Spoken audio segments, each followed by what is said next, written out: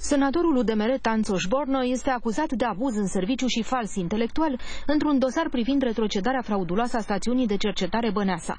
Fix pentru grațierea faptelor de fals intelectual a propus un amendament la viitoarea lege. Senatorul susține că propunerea nu îl avantajează pe el personal. Grațierea se referă strict la cei care sunt deja condamnați în niciun caz nu se poate referi la persoane care ar putea fi trimiși în judecată și eventual ar putea fi judecați și condamnați.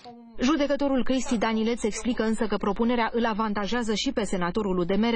Proiectul de lege prevede clar că se grațiază faptele comise până la data de 18 ianuarie 2017 cei care sunt în momentul de față în anchetă la, urm- la procuror sau se află în judecată la instanțele din România ar putea beneficia de legea de grațiere dacă nu se corectează ultimul articol din proiectul de lege privind grațierea, care se referă la faptă și nu la pedepse. Bornau propune și ca deținuților care au copii sub 14 ani să li se șteargă jumătate din pedepsă.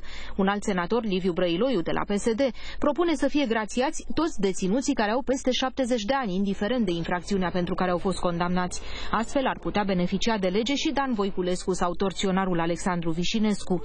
Senatorul Alde, Ionut Sibinescu, propune să fie grațiați și deținuții care nu achită fără rea credință prejudiciul.